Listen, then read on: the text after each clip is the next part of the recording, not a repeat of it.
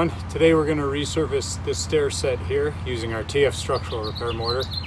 Uh, there's an old river rock system on this stair set that's deteriorating and falling off so we're going to remove all that, grind all this concrete, prep it properly and then resurface the, the risers and the treads using the TF structural.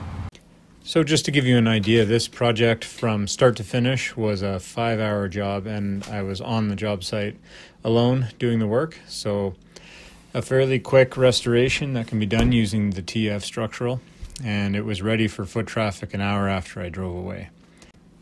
And as always, the first step is preparing the surface for the TF structural. Um, we're at first removing all the old loose product using the jackhammer and once we get all that rock off, which you can see here. Now we have to take grinders to this surface to remove all that old adhesive and glue to get down to a clean, porous concrete substrate.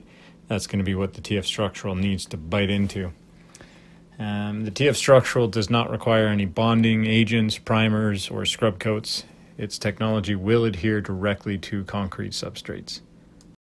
Okay, so all the prep is done. We have it ground down nice clean porous concrete ready for our uh, skim coat riser application so this is interesting here. Um, something I found underneath that decorative rock. It's a big expansion joint which we didn't see before the job started. Kind of excited uh, that I found this because it'll give me an opportunity to show you some of the versatility and things you can do with TF structural. So I came in and I just hammered some of this edge away just to give something more for the TF structural to bite into. So we're gonna install it on this side of the slab, build a bit of a ramp because you can see there's a height difference here. And then once that sets, we're gonna come back and skim coat all within probably half an hour because of how fast we can get the TF structural to cure. So when I was making the mix here to fill in this expansion joint and build this small ramp, I actually made it a little bit too wet. Uh, my intention at this point was to trowel it down in and if it was dry enough it would wedge itself right into that gap but you can see the product is slumping um, right through and falling down. The ideal way to have done this joint would be to stuff some backer rod, some foam or something down into that expansion joint so the structural had something to back against and not not fall right through. Um, so you saw I sped it up there, but I just troweled the product and, and made it work. And it does hold on to the edge. And then I went and made a dryer mix, which you see me installing now. And as I work this product into the edge, it will actually actually hold its shape and stay there on the edge. So I, I could do it by hand, but you can see how much more work this this step adds by not having that back rod in the in the gap there. But I did want to leave this into the video just so you can see the versatility of the structural and this is the method that I actually did to fill this gap in and make about a six inch ramp there to remove the height difference. What's very important to note too is I did not connect these two concrete slabs with the TF structural. It is a very rigid product and any movement would cause it to break out so I did honor that expansion joint. Okay guys, first thing I'm going to do is the risers on all the stairs. I'm to let those set up and then we'll come back and do the treads after. Uh, the biggest thing for doing the risers is making sure you have a really good mix consistency. Uh, that being you don't want it too wet so that it keeps slumping off and you don't want it too dry either that you can't get it to stay on. The biggest trick you're going to see that I use here is always keeping a trowel up on the top and I can trowel right into that and that helps push the product onto the stairs versus just troweling like this the product's going to want to roll off. At the start here, I had the base of the railing in my way, so I wasn't able to keep that top trowel underneath my other trowel. Uh, so I just had to work work around that part.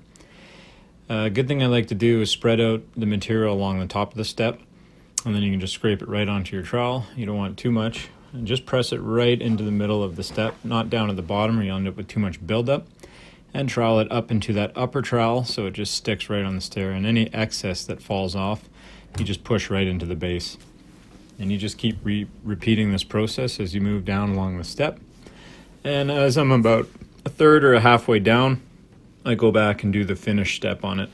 Same process, just spend a little more time on it, working that trowel up with differing amounts of pressure to just smooth out that riser face into a, a point you're happy with, and just continue all the way down as such. Um, rather than skipping frame by frame here, I wanted to just speed up the actual process so you can see the whole whole step of doing this. You do the first riser and then you go back, make another mix, and start the second riser. That way you don't have too much product sitting on the stairs or in your bucket because over time the TF structural will start to cure, especially when it's in volume, if you left it in a bucket. So you just work your way down this step and again you place the product on the riser. Doesn't have to look too amazing at the beginning.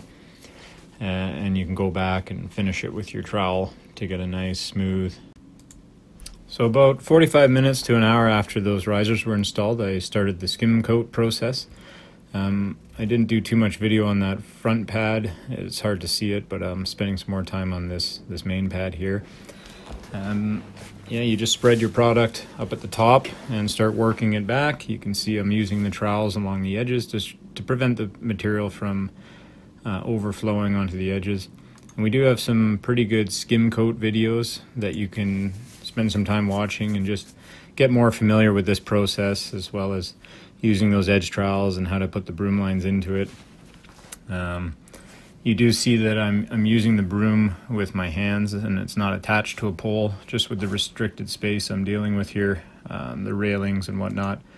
It was pretty hard to keep the broom on a pole, so I just was using my hands and reaching up and going back and forth, trying to get the lines as straight as possible. And I continue that process for the two treads as well. Again, we have some videos on other staircases so you can see a bit more in depth of how to apply the product to treads and put the broom lines into those.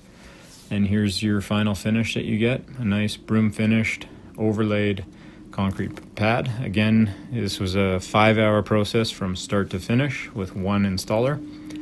And uh, the customer was able to walk on this an hour after installation. So I hope you enjoyed this video.